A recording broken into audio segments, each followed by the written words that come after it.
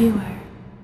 New video released by the radical Islamic organization Boko Haram reportedly shows 15 of the almost 300 schoolgirls who were kidnapped two years ago from a school in northeastern Nigeria. The footage, shot on Christmas Day and sent to the Nigerian government, shows the kidnapped Chibok girls pleading for the government to cooperate with their captors. The terror group is using the girls' capture as a bargaining tool for prisoner releases.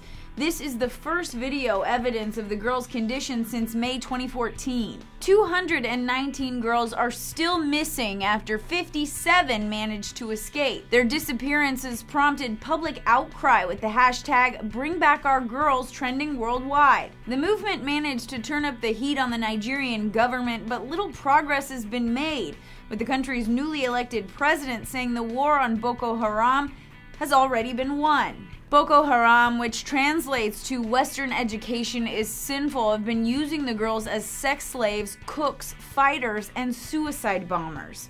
For Veuer, I'm Carly Figueroa.